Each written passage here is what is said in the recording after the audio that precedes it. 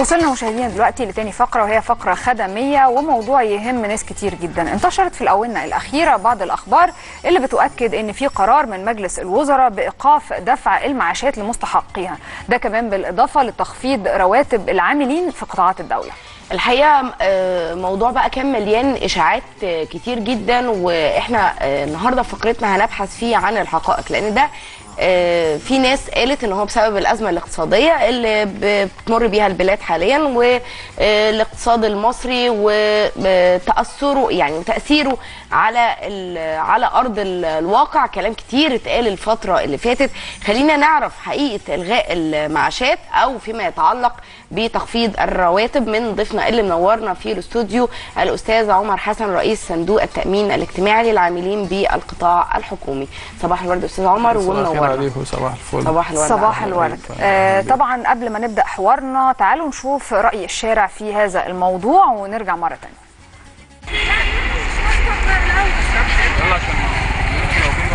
هي قالت بالتحديد إن الدولة مش قادرة تستحمل عبء المعاشات. إحنا مش عبء على حد. مين اللي قال ان إحنا عبء على حد؟ إحنا مش عبء إحنا فلوسنا من يوم ما تعيننا لحد ما اتكسرنا وطلعنا وإحنا فلوسنا بتتقطع مننا عشان يشغلوها. في تصريحات غير مسؤولة في وجهة نظري في وسط ال ال ال البني آدم بعد المعاش. آه، آه، بعد المعاشات آه، المفروض إن الراجل صاحب المعاش ده المفروض إن هو بيبقى محتاج فلوس أكتر لأن بتبقى صحته متدهورة أكتر. دولة قادرة لا في ناس بتاخد مرتب بالستين ألف جنيه. آه في ناس بتاخد مرتبات بالستين ألف جنيه. يقتصوا منهم ويراعوا الناس اللي على المعاشات. إحنا لما بنطلع على المعاشات ما بنطلعش إسلام يا بنتي. هم إحنا عارفين البلد في الحالة الاقتصادية تعبانة وكل حاجة بس إحنا إحنا بناخد أنا بجيب بجيب علاج أهو. بجيب علاج. بجيب علاج أورام وأجيب حاجات. هجيب منين أنا؟ لو خدوا حتى من المعاش هصرف منين واكل منين؟ ما ينفعش. طب والناس تعيش منين؟ لو ما فيش معاشات أنا أعيش منين؟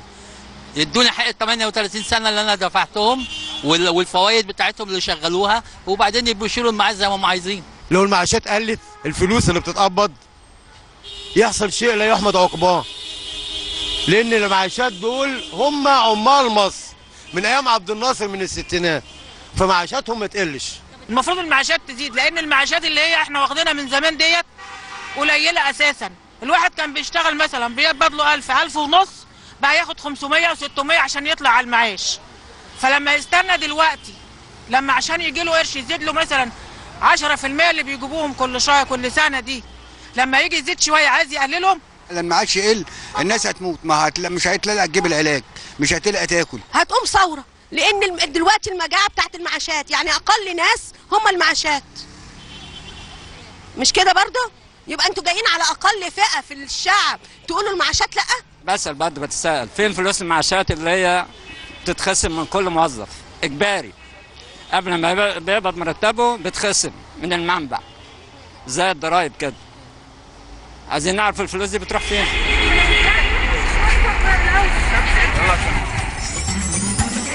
نرجع لكم مشاهدينا بعد ما شفنا رأي الشارع المصري فيما يخص موضوع الرواتب والمعاشات. أستاذ عمر آه، منورنا. وطبعا حضرتك شفت معانا التقرير. آه، طبعا. آه، يعني إلى أي مدى الكلام اللي اتقال من المصريين ال- يعني الناس اللي كانت في الشارع دلوقتي اللي طلعت في التقرير كان صحيح فيما يخص المعاشات والمرتبات المنخفضة.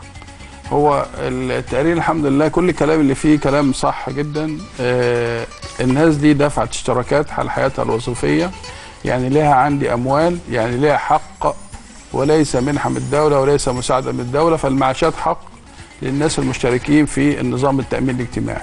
لأن إحنا بنعمل الاشتراكات دي بناخدها منهم حال حياتهم الوظيفية لمدة 30 أو 40 سنة. الفلوس دي المفروض إن هي بتبقى موجودة كرصيد للبني آدم دون معانا.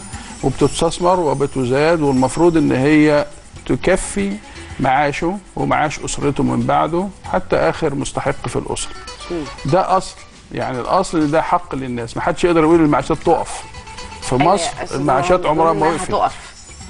ال- اللي حصل إن طبقا ل آه، عفوا انجاز لي التعبير وكان في بعض التصريحات غير مسؤولة أو بعض القرارات اللي نزلت ما كانش فيها توضيح كافي للناس فده اللي عمل حالة من اللغط والاشاعات كانت بتتعلق بتخفيض المعاشات بدل ما تزيد إنها هتتخفض وكان في بعض الشركات والمؤسسات الحكومية ابتدت تقنن أوضاعها وابتدت تعمل نوع من أنواع تخفيض للرواتب والحوا... والحوافز داخل المؤسسة نتيجة بقى لتأثر الأوضاع نتيجة للاقتصاد نتيجة لأي حاجة. لا هو التصريح بتاع معالي الوزير اللي كان في المؤتمر الاقتصادي في الأخبار اليوم اقتضب منه فقرات وهو ده اللي حضرتك بتتكلمي فيه مم. على أساس إن نظام التأمين الاجتماعي في مصر بتصرف المعاشات من آه، سنة 1854 أو 56 بداية المعاشات في مصر والمعاشات منتظمة في الصرف يمكن تعثرت في 1930 ولما حاليا مستمرة في الصرف من 1930 لحد النهارده لم يتوقف شهر واحد بس تم إيقاف صرف المعاشات فيه أو تم تخفيض المعاشات. طيب يبقى المعاشات فرصة نعرف النص الأصلي كان إيه لأن حضرتك بتقول إن تم آه، يعني اقتطاع آه، آه، يعني كلام. آه كلام هي قالته في الخطاب بتاعها. أيوه هي النص الخطاب ال- الأصلي. ال- النص الأصلي إن المعاشات محتاجة الإصلاح تشريعي. اللي إحنا بنعمله اللي هو قانون التامين الاجتماعي الموحد إن الدولة بتتحمل من قيمة هذه المعاشات 50% من قيمتها. المعاشات السنوية بتصرف 100 مليار جنيه. 100 مليار جنيه الدولة بتتحمل منهم 50 مليار جنيه سنة 2014 2015 واللي إحنا عايزينه إن يبقى في إصلاح تشريعي. زي ما حضرتك كنت بتتكلمي إن المعاشات متدنية. طب أنا عايز إصلاح تشريعي يرفع المعاشات عايز إصلاح تش- تشريعي يضمن حد أدنى للمعاشات ويتوافق مع الدستور الحالي دستور 2014 المفروض برضو القانون يكفل بعض العقوبات الحازمة اللي هي تخلي صاحب العمل يأمن اجباريا على العامل ويأمن على أجور حقيقية وما يتهربش من التأمين على العمال أو يتهرب من التأمين على جزء كبير من أجره ويتأمن على جزء قليل أنت عندك. ناس تعقيبا على الجزئية بتاعت حضرتك دي اولا إحنا عندنا آه، إحنا دايما بنقعد نقول لأ آه، إحنا مش محتاجين قوانين لأ إحنا مشكلتنا إن إحنا عندنا قانون بيقعد بال 40 وال 50 وال 60 أيوة. سنة أيوة. عقبال إيه ما ربنا يكرمنا كده وال- والقانون يتعدل ودايما ال- لا ويا ريته بيتطبق يعني كمان ابو هنقول 40 يعني سنة. عقبال ما عقبال ما القانون بي بي يعني بيتع... بي بيتم تعديل وبعدين تيجي تصدم في واقع تاني يتعلق بآلية التنفيذ يعني بعد إصدار القانون حضرتك دلوقتي بتطالب بقانون وبتشريع جديد وإحنا مقدمين على آه، مجلس آه، نواب 2015 المفروض هو اللي منوط آه، مراجعة. بمراجعة القوانين. وبالتعديل وبالتشريعات وما. إلى ذلك. لكن قانون ال- التأمينات ال- الموحد لما نزلت أو تداولت بعض الأخبار عنه والناس كتير جدا قالت إن هو في نوع من أنواع العوار لأنه ما بيضمنش مبدأ المساواة بالإضافة إلى المعاشات اللي كانت موجودة. أنا سؤالي طويل شوية بس عشان ألخص لحضرتك الجزئية. الكرات ده كافي؟ اللي هو المعاشات اللي قالوا عليها زمان معاش السادات اللي هي ناس كتير جدا اتحط لها المعاش كان 50 جنيه ولا 75 جنيه. وفضل يعني فاللي هو دلوقتي بيلاقي نفسه سنة 2015 بياخد 210 ولا 250 جنيه. يعني هرد بس على حضرتك؟ اولا قانون التأمين الاجتماعي الموحد ما زال مسودة تراجع من الخبراء تمام. لم يطرح مجتمعيا إنما قانون التأمين الاجتماعي الموحد ده قانون بيضمن معالجة الآثار ال- المترتبة على استمرار تنفيذ قانون 79 75 والقوانين الأخرى ادينا 40 سنة بتطبق في إشكالية في عملية ال- القوانين لما بتستمر مدة طويلة بتخش عليها بعض التعديلات المتكررة قد يترتب عليها خلل في الحسبه الالكترونيه أو في الأعباء المالية بتاعتها فلا بد أن حضرتك تخشي تعملي تعديل تشريعي يتوافق مع الواقع ويحسن المعاشات. معاش السنوات اللي هو 112 80 ده حاليا 450 جنيه وليس 200 أو 300 جنيه. لا برضه معاش السنوات ده كام بقى؟ ما أنا هحكي لك أهو طب اشتراكاته كام بقى؟ حضرتك بس هاخد مدام سامية من القاهرة طيب. وهنكمل الجزئية دي. مدام سامية صباح الورد. آه، صباح الورد. صباح الفل على حضرتك. آه، لو سمحتي اتفضلي. آه، بالنسبة للمعاشات مثلا أنا جوزي آه، كنت باخد معاش من 12 سنة في آه، تبع إيه بقى التطبيقيين تمام وتصوري حضرتك كان 325 جنيه كل ثلاث شهور 325 جنيه كل ثلاث شهور يعني حضرتك كنت بتاخدي في واقع ال- الشهر 100 و 110 جنيه تقريبا يعني بالظبط كده آه. تصوري حضرتك بعد فوجئنا الشهر اللي فات. آه، يعني الدفعه اللي فاتت أيوه. ادونا إيه 425 معاش جنيه. نقابة، مش معاش فرحنا قانوني. قلنا ده المعاشات بقى ما شاء الله زاد. لا. آه. ال- الدفعة ديت فوجئنا إيه؟ إنها بقت 244 جنيه. أستاذة سامية هو ده ده معاش نقا... نقابة؟ نقابي أيوة، نقابة نقابة الطبيين نقابة الطبيين نقابة- آه. طيب أستاذ عمر مع حضرتك برضو تستفسري منه هو اللي عنده المعلومه يعني. هو هو معاش النقابة هو معاش خاص جدا بيبقى خاص بفئة من المجتمع بيعملوا نقابة بياخدوا منهم الشركات حال حياتهم مثلا ممكن الشركات تبقى قليلة تبقى كتيرة؟ حسب زي النقابات اللي موجودة قانون لا، نقابات نقابات التجاريين ده قانون تاني ده عايز ك... ده قانون ده فيه لا ده كارثة موضوع تانية. تاني خالص غير القانون آه. ال... القانون الاصلي في التأمين الاجتماعي هي كفاله الدولة أو حماية الدولة للمؤمن عليهم الناس العاملين دي ليهم قوانين بتحميهم تامينيا وتحمي أسرتهم. ده قانون بقى اللي هو طب القانون في إشكالية الأصلي. تانية يا أستاذ عمر؟ هكمل بس حضرتك معاش السادات حضرتك بتتكلمي آه. فيه. هو اشتراكه جنيه في الشهر. لمدة 10 سنين يعني 120 جنيه بيدفع الشركات كله طول حياته. 120 جنيه بياخد معاش 450 جنيه في الشهر. مم. ده معاش السادات بتتكلمي حضرتك فيه مش 200 ولا 300 جنيه حاليا المعاش ده 450 جنيه طب ماشي 450 جنيه طب ليه. ما تزودوش بدل. الجنيه يبقى أكتر أيوة، هو ده؟ بقى الإصلاح التشريعي حضرتك بتتكلمي فيه ده آه. المطلوب بقى يتعمل آه. إن يبقى الشركات حقيقية وبالتالي معاش حقيقي طب في بدل ما. أديله مساعدة أديله بقى معاش تمام حقيقي في إشكالية تانية بتلجأ ليها مؤسسات وشركات كتير جدا فيما يتعلق بالتأمينات بمعنى إن هو علشان يخفض من الفلوس اللي بيدفعها جوه التأمينات هاجي أنا ومها مثلا على سبيل المثال متعينين عند حضرتك. الراتب الحقيقي لينا مثلا 1000 جنيه لكن ما يكتب في الاستماره المتعلقة بالتأمينات 500 جنيه. علشان تقوم المؤسسة أو المنشأة أو الشركة بدفع قيمة أقل لل... للتأمينات وبالتالي بناء عليه أنا معاشي بعد ما بقعد أشتغل السنين دي كلها بيبقى معاش صغير. تمام. ده كده إحنا بنسميه التهرب التاميني الجزئي إن صاحب العمل ده أنا بعتبره ما عندوش ضمير وبيأمن على الناس كلهم غير حقيقية. يعني بيلجأوا لهذه الحيلة. ما هي المشكلة بقى هنا إيه؟ لو أنت آه، يعني آه، عملت ضبطية وظبطت مثلا حاجة زي كده إيه العقوبة بقى في القانون الحالي؟ مثلا 100 قرش. ده القطاع العام والخاص ولا القطاع؟ الحكومي أو القطاع العام أو القطاع الخاص. 100 كل القطاعات. آه حاليا في العقوبات في 79 75 ده وأنا بقول لك محتاج تع- تعديل تشريعي وده اللي كانت بتطالب بيه معالي الوزيرة إن لازم يبقى في تعديل تشريعي لازم يكون في حد أدنى لاجر الاشتراك. أنا ليه بامن على 500 جنيه؟ ما بامنش على الحد الأدنى لاجر الاشتراك لحد النهارده في القطاع الخاص. طب إيه الخطوات اللي تم تنفيذها بالفعل في هذا الاتجاه اللي هو التشريع؟ اتجاه في تعديلات القانون؟ الموحد ده الحمد لله إحنا خلصنا مشروع القانون وحاليا دلوقتي بيتراجع في المسوده إحنا بنجهزه إن هو إن شاء الله يدخل مجلس النواب اللي جاي على أساس إن هو يبقى جاهز على آخر السنة إن شاء الله ويتراجع ويطرح طرح مجتمعي ويتعمل عليه الرأي الصح. الناس تشوف اللي جوه القانون الصح. مش طيب، الكلام اللي حضرتك إحنا قلتيه إحنا إحنا عندنا قانون الحد الأدنى للأجور قال إنه 1200 جنيه. تمام. ده كحد أدنى. فين حتة في القطاع الحكومي فقط؟ في القطاع الحكومي. القطاع مع- الخاص لسه ما اتعملش أنا أنا مع لحد حضر... دلوقتي. لا خلينا في القطاع الحكومي. تمام. يعني معنى كده إن أنت المفروض كل العقود أو أو ال أو ال أو أو المستقطعات بتاعة التأمينات تكون تحت إنه الراتب 1000 تمام. مش إنه 250 جنيه و300 جنيه لا لا و500 جنيه. 1200 طيب تمام. هل هيتم العقود بقى اللي هي جرع مش القديمة. مش يعني. اللي هتطلع الجديدة بعد تعديل تمام، القانون. هنعمل إيه في اللي كان قديم اللي كان موجود قبل كده؟ ويا فندم دي أصلا تعديلة أجور يعني المرتبات اتعدلت في تاريخ معين واترفعت الأجور دي واتعملت علاوة أيوه ده أو- ده الجديد. لا القديم. ال- القديم القديم والجديد. طيب تمام. كل القديم اترفع وخد الزيادة اللي هي ترفع للحد الأدنى حضرتك قلتي عليه دون بحيث إن أنا وأنا طالع على المعاش بلاقي معاش مت- متناسب مع الأجر بتاعي. الأجر بتاعي اللي هو الأجر التمويل هو الحد الأدنى ده. لو واحد مشترك عندي كامل المده ومشترك على 1200 جنيه بياخد 960 جنيه معاش يعني ممكن يقرب للأجر بتاعه. طيب ممكن أستأذن دي كده موضوع الحد الأدنى للأجور. طيب هستأذن حضرتك في مداخلة هتفهم الأستاذ أسامة من الجيزة. صباح الورد يا أستاذ أسامة. والله بعد إذن حضرتك عايز أسأل ضيفك الكريم آه، سؤال يعني في. المعاشات يعني والتأمينات. اتفضل. أنا يعني أنا معار في الخارج بشتغل في الخارج في السعودية. تمام.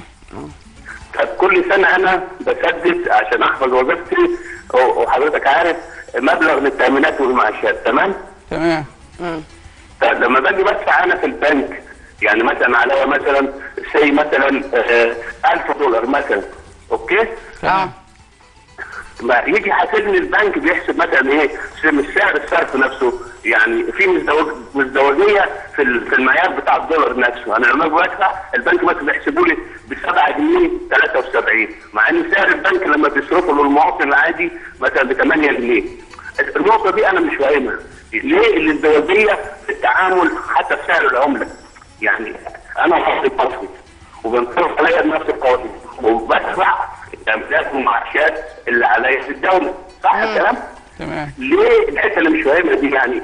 ليه يبقى في آه، يعني فرق؟ لما يجي يحاسبني يحاسبني على الدولار مثلا لما ياخدوا مني ب 7 جنيه 73 لما سعر البنك الرسمي المعلن آه، 8 جنيه. النقطة دي مش فاهمها. حضرتك بعد اذنك توضحها لي حاضر تمام. حاضر. تمام. شكرا آه. يا أستاذ أسامة. وطبعا هال- الأستاذ أجازة خاصة؟ هو موظف في الحكومة بس واخد أجازة خاصة للعمل في السعودية.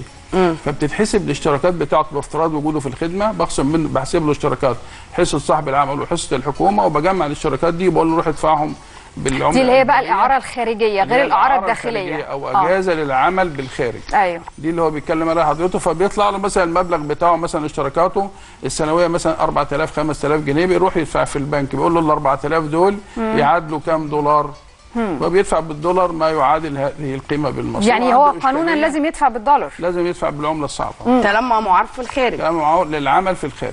طيب آه نيجي عايزين إشكالية أصلا في البنك دي مش إشكالية خاصة بالمعاشات إن هو الدولار البنك البنك بيحاسبه بسعر الشيء بسعر بسعر بيوردها للبنك البيع. المركزي صح؟ بيروح البنك أي بنك آه. أي بنك مم. في حسابنا بيحط المبلغ. طب ندخل للجزئية الثانية اللي بتتعلق بالإشاعات اللي اتكلمت عن تخفيض الرواتب. في بعض المنشآت ال- الحكومية ابتدى بعض الموظفين فيها يلاقوا إنه لأ الرواتب هتت- هتتخفض الحوافز هتتخفض. آه، مثلا كان في شركات مثلا أو مؤسسات بتصرف شهرين كل شهر أو أنا يعني أنا مش عارفة بتتعمل إزاي أو شهر كل شهرين حاجة كده ابتدى يلاقوا إن ده في تخفيض. دي من الحاجات اللي إحنا سمعتها سمعناها. عايزين نشوف الحقيقة مع حضرتك فين بما يتعلق بالجزئية دي. أنا بتكلم على القطاع الحكومي. مش بتكلم على القطاع الخاص. ال- القطاع الحكومي كمعاشات بيدي معاش بيدي معاش وبيدي مكافأة نهاية خدمة اللي هي شهر عن كل سنة. تمام. ده أصل في الحق التأميني. زي ما قالوا الناس كلهم في التقرير إن إحنا دي حقوقنا إحنا دفعنا اشتراكات يعني لنا حقوق. تمام. حقه ده ما ينقص ابدا ولا يقف ابدا. يعني مفيش حاجة اسمها حقيقه إن المعاشات هتنقص. طول حياته ما ينزل ما ينزلش يزيد. آه إحنا زودنا المعاشات من ساعة الثورة لحد النهارده حوالي 90% تمام. من قيمتها. تمام. الحاجة بتتكلمي فيه ده دي صناديق خاصة في الجهات الإدارية بتعمل مثلا مكون عندها من أي مورد من الموارد. إذا كان بيدفع الموظف جزء من مرتبه بيحوش في الجهة دي بحيث إن هو طالع ياخد مثلا إيه مكافأة. لا مش هو طالع يا فندم. أنا آه. بتكلم هو موجود جوه الخدمة. أنا بتكلم إنه بيصرف له كان بيصرف بيصرف لهم لهم حافز. مثلا شهرين كل شهر. بياخدوا شهر زيادة وكده قالوا إن ده مش هيبقى موجود. شالوا مثلا علاوات هي كانت بتبقى بقيمات صغيرة. لا دي أصلا أنا بعتقد إن دي مش موجودة أصلا. ان إحنا جهاز إداري في الدولة ومفيش حاجة عندنا اتخفضت وإحنا زي ما إحنا بالنسبة لل- للقانون حتى 18 لسه اللائحة بتاعته ما طلعتش. لسه في مجلس الوزراء وإن شاء الله ما تطلع الأمور توضح أكتر يعني. مم. يعني يعني ده يعني فكرة تخف... موضوع تخفيض المعاشات ده إشاعة. استحالة استحالة تحصل. استحالة تحصل إن المعاشات دي تقف أو تتخفض. طيب يبقى إحنا كده وضحنا. أصلا هو بقول لحضرتك حق. أنا. اكتسبت حق ما تعرفش تاخده مني. طب إيه إيه يا. فندم خريطة استثمار أموال التأمينات؟ آه، أموال التأمينات بصفة عامة عشان نبقى عارفينها مع بعض هي عبارة عن 612 مليار جنيه. 612 مليار جنيه. منهم موجود في الخزانة العامة عبارة عن اذون أو سندات بتبقى 292 و55 292 مليار و55 مليار في بنك الاستثمار القومي و105 مليار استثمارات مباشرة. تمام. في 160 مليار مديونيه على الخزانة دي اللي إحنا بنحاول نقسطها وبنحاول ناخد عليها فوائد أو عوائد استثمار عشان ترفع العائد. متوسط عائد الاستثمار على الأموال في الخزانة 8 و9% في بنك الاستثمار 9% أنا بعمل استثمارات مباشرة بجيب عليها 10.5% تمام. ده كده دي كده أموال التأمينات. استثمار أموال التأمينات المباشرة عندنا معظمها في سندات خزانة لأن بتجيب أعلى عائد استثمار وأذون خزانة وعندي استثمارات في شركات وعندي استثمارات كودايع أو في ودايع دولارية أو ودايع آه، بالنقد ال- المصري أو بالجنيه المصري. وبالتالي أنا عندي آه، ودائع استثمار. الخطة اللي جاية في القانون الموحد ده إن يبقى في كيان مستقل هيعملوا صندوق استثمار. صندوق استثمار اموال التامينات حضرتك أنا بحصل اشتراكات من حضراتكم وبوفر جزء نتيجة إن أنا بصرف معاشات وبعدين باخد الجزء الباقي بوديه صندوق كان الاستثمار في يا فندم مشروع من. عن شركة مصر المقاصة. ده كان منذ سنوات كان متعلق بالجزء الخاص بصناديق الاستثمار. هل هيسري عليه نفس هتبقى ال- ال- الأموال دي بيسري عليها نفس القوانين نفس الجزئية؟ عشان بس نوضح. لا لا في ناس ما تعرفش يعني إيه صندوق استثمار. صناديق الاستثمار دي صناديق خاصة. صناديق خاصة ممكن تبقى تبع أي جهة انما مم. عندي أنا بقول لحضرتك هعمل كيان مستقل. أنا عندي صندوق التأمين الاجتماعي العاملين بالحكومة عندي صندوق التأمين الاجتماعي العاملين بالقطاع العام والخاص عندي صندوق هيتعمل أو كيان مستقل جديد لاستثمار طب هيبقى تابع. لإيه بقى؟ تابع للهيئة القومية للتأمين الاجتماعي. تمام. وبتشرف القضاء. عليه بقى آه، أنهي وزارة؟ وزارة الوزارة اللي هيبقى تبعها الهيئة. يعني حاليا دلوقتي وزارة التضامن هي تبع ال- الهيئة تبعها ورئيس مجلس الإدارة هي الوزيرة وبالتالي بيبقى تحت إشراف رئيس مجلس إدارة الهيئة ومجلس إدارة الهيئة نفسها بيبقى مشرف على استثمار هذه الأموال يعني أموال التأمينات في أمان أمان تام أمان تام نطمن أصل الناس يا دكتور لما يا أستاذ عمر عفوا لما بتيجي تقول لهم آه، صندوق استثمار وهنستثمر فلوس يقول لك آه بس خلاص هياخدوا فلوسنا يستثمروا بيها ويضربوا فيها في البورصة وهنخسرها وبندخل لا، لا، استحالة. لا ما هو ما آه، إحنا أنا برضو يعني. عندنا اشكاليه في موضوع الوعي برضو هي دي مشكلتنا فعلا. آه. أنا بقول لحضرتك إحنا عندنا دلوقتي يعني 292 مليار و55 يعني 347 مليار موجودين في الدولة. طب استاذن حضرتك ناخد أستاذ البدري فرغ... فرغلي رئيس اتحاد أصحاب المعاشات. أستاذ بدري. أيوه. صباح الورد يا فندم. أيوه صباح الخير. صباح الفل. اتفضل بيك يا فندم. حضرتك. نعم. اتفضل سامعين حضرتك يا فندم. ال- كل الكلام اللي بتسمعيه سيادتك عن الاستثمارات آه. هي استثمارات في الخزانة العامة؟ آه. عبارة عن حزمة ورق بضمان الخزانة العامة. بس أستاذ عمر بيقول يا أستاذ بدري إنه هيبقى فيه صندوق استثمار خاص. ده هيبقى آه، يعني مشكل كده مستقل بذاته بتشرف عليه الوزارة اللي تابعه ليها التأمينات. ده نظام تاني. يا استاذه آه. الاستثمار ده هو الأموال يعني محتاج صندوق أموال. أيوه فندم المادة 17 من الدستور أيوه. منحت هيئه التأمينات إدارة كل أموال التأمينات. وهي هيئة مستقلة يعني الاستثمار داخل هيئة التأمينات. طيب. إحنا لو سمحتي لي أنا بسمع حضرتك. بلاش أنا عاوز أقول رايي لا لا أنا بسمع حضرتك أنا ما قطعتش حضرتك نحن خالص. نعيش في أزمة خانقة. آه. وصلت إلى حد الكارثه امم من الإدارات اللي أنت بتسمعي الكلام بتاعها دي وكل ما تسمعيه أصحاب المعاشات اللي بيسمعوك الآن يعلموا تماما إن كل أموالنا دي هي أوراق وبتدار بشكل وهمي لأن إحنا بناخد عائد من الخزانة العامة عن صكوك موجودة أو سندات موجودة واستثماراتنا اللي موجودة في الشركات بتستثمر لحساب آه، طريقة يعني مش عايز أكلمك أقول لك إزاي. واقول لك ليه قول لي إزاي؟ أنا ليه حضرتك قول لي إزاي؟ أنا عايز أعرف. حضرتك بتقولي ما اسمعش كلامهم عايز أسمع كلامك. يا استاذه يا استاذه ده إحنا كنا بنستثمر أكثر من 80 مليار في شركات استثمارية. مكافآت الأرباح بياخدوها كبار الموظفين اللي موجودين. ما تثبتش يا أستاذة إحنا عايشين في كارثة. أيوه يعني حضرتك عندك عندك دلائل عندك ورق بتفيد إن كبار الموظفين كانوا بياخدوها؟ أيوه يا استاذه أبعت لك أنا آه ابعتهولي.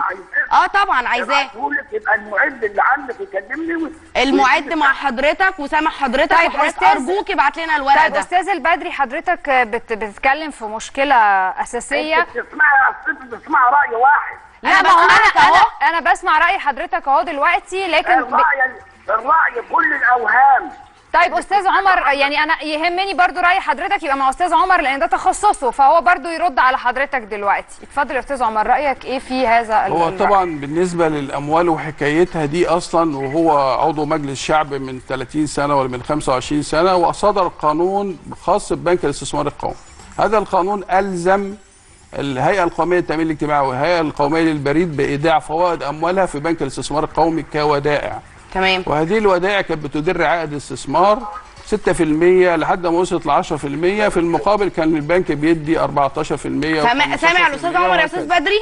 فمعنى ذلك إن هي ودائع إن هي آه. وديعة في بنك الاستثمار القومي. مم. تبقى منها حاليا 55 مليار وفي 292 مليار في ال- الخزانة العامة للدولة بضمانة الدولة، الدولة بتدفع عليها بالنسبة لي أنا 9% من 8 ل 9% بنك الاستثمار القومي بيديني 9% باخد عوائد استثمار على الأموال دي نقدا باخد العوائد دي نقدا وبتساهم في صرف المعاشات. وليس لفائف من الورق كما كما يدعي إنما هي بتدر عائد استثمار أنا عايز عائد استثمار طب بيقول لك العائد ده بيروح. لكبار الموظفين ما لا لا يا فندم الكلام بتاعه مش طب صح. طب أستاذ بدري إيه ردك على كلام أستاذ عمر؟ لا لا العائد الاستثمار يصل إلى 40 مليار جنيه يروح لأني موظفين. طيب ما هو طيب هل هل ممكن ي... طب أستاذ بدري حضرتك تحب تبقى تقابل أستاذ عمر بهذه الأوراق؟ لأنه حضرتك قابله مين أنا مش هقابله أنا هقول لك الأرقام لأن بيقول بنك الاستثمار القومي ده بيتكلم عن جهة ثانية بيتكلم عن صكوك غير قابلة للتداول في الخزانة العامة اللي كانت من بنك الاستثمار القومي. ال 192 ده مليار طبقا اللي بيتكلم للقانون القديم يا أستاذ بدري لكن أستاذ عمر بيتكلم على المسودة بتاعه القانون الجديد بتاع التأمينات الموحد يا أستاذة مين قال له قانون جديد؟ هو نصب نفسه للبرلمان القادم البرلمان القادم هو لا هو ما. أستاذ بدري هو ما أصدرش القانون أنا بسمع حضرتك هو لم يصدر القانون هو بيقول إن في. مسودة معدة عشان البرلمان القادم. يعني مطروحة للحوار المجتمعي. اتفضل. يا أستاذة حوار مجتمعي مين؟ هو بيحاور نفسه. يا أستاذة قانون التأمينات يخضع لاثنين صاحب العمل والعامل. صاحب العمل هو اللي بيدفع والعامل اللي بيدفعه. دول بيعملوا قوانين إعلامية. القوانين الإعلامية هتصطدم بالواقع. أصحاب العمل لازم تقول لهم هم اللي يقولوا مش إحنا اللي نفرض عليهم وإلا دي قوانين معمولة للاستهلاك المحلي. هل حضرتك يا أستاذ عمر هل عملتوا آه، حوار مجتمعي؟ هل هيبقى في حوار مجتمعي مع أصحاب المنشآت أو العاملين في قطاع يعني الدولة هو- هو قبل طرح المسودة؟ هو طبعا الكلام الكلام اللي بيتكلمه ده كلام فعلا يعني مثير للجدل. طبعا. وهو ملوش أصل من الصحه لأن الاموال يا فندم أصلا بضمانة الدولة. المعاشات مضمونة بضمانة الدولة. الناس ما تقلقش من كل الكلام اللي بيتقال هو إحنا. عايزين بس هل أنا في بالوقائع كده؟ بص يا أستاذ عمر معلش أنا أحب أنا يعني معاكي، أنا هل معاكي. في في الوقائع يا جماعة؟ أي حد سمعنا دلوقتي في حد راح يصرف معاشه؟ لقى معاشه ما خدوش. أو متخفض؟ لو في حد يا ريت يدخل معانا على طول. أو على يبلغنا مستوى مصر كلها تلاقي حالة توقف معاشها بغير سبب طيب يا أستاذ. بدري إحنا هننتظر الورق اللي حضرتك بتقوله وهننتظر يا اتفضل أستاذ من واحد سبعة الماضي 13 أيوه. كل المعاشات المبكرة اللي تم التأمين عليها تم تخفيض معاشاتهم للنص. أيوه طب إحنا عايزين حد يقول لنا انه اتخفض معاشه. يا أستاذة اسألي الراجل طب هل اتخفض يا أستاذ عمر فعلا؟ ثانية واحدة يا أستاذ. بدري طب اتخفض. إحنا يعني هو بيتكلم في كلام إيه؟ من 1 7 13 كانت أيوة. المعاشات اتخفضت. طلع أيوة. قانون 120 2014 أيوة. رفع كل المعاشات من 1 7 13 ومن 1 1 14 إلى 450 جنيه. والمعاشات طب إحنا حاليا بنتكلم دلوقتي 2000 إحنا بنتكلم 2015 دلوقتي يا جماعة أي حد من إحنا دلوقتي 480. آه واحد في الشهر شهر 10 شهر 9 أستاذ البدري هو بيقول لك بيقول لك خفض بيقول لك انخفض فعلا زي ما حضرتك قلت بس رجع ارتفع مرة أخرى. حضرتك على علم ب... 120. بهذا يا الشيء؟ أنا رئيس اتحاد أصحاب المعاشات الم- الناس بمئات الألوف بتصرف في كل مصر كلها. طبعا. اللي معاشه 500 جنيه بياخد 200 جنيه وفي 100 جنيه. قولوا له قول صح ولا لا؟ طيب، بيقول لك غلط. بيقول لك غلط. بيقول لحضرتك كلامك غلط. كلامه هو اللي كلامه غلط. أنا اللي بقبض مش هو أنت بتقبض كام أنت؟ بتقبض كام معاش؟ أنت مالك ومالي؟ ده أنا عمرك مش أنت اللي بتقبض. عمري في المعاش قد عمرك.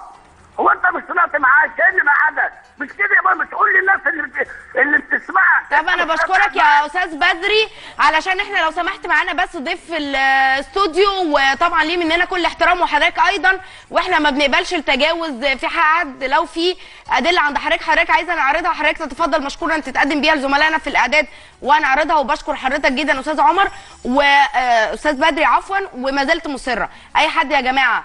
فوجئ إن المعاش بتاعه وأنا بتكلم 2015 ما بتكلمش على النصوص القديمة ولا الإجراء القديم راح قبض معاش ولقى متخفض يا ريت يدخل- معانا في مداخلة على الهوا دلوقتي وأستاذ عمر معانا ويقول لنا وتقول اسمك وتقول بتصرف وتابع لأنهي منشأة وبتصرف معاشك مني طب إحنا طبعا. بنع- بنعتذر عن مفيهاش حاجة عن أسلوب الكلام. آسفين آه، يعني. بس آه. عايز أقول لحضرتك حاجة كل الكلام ده بدعوة نعمل بلبلة في المجتمع أيوة. ما عنديش معاش نقص ما عنديش معاش توقف المعاشات مضمونة بضمان وجود الدولة.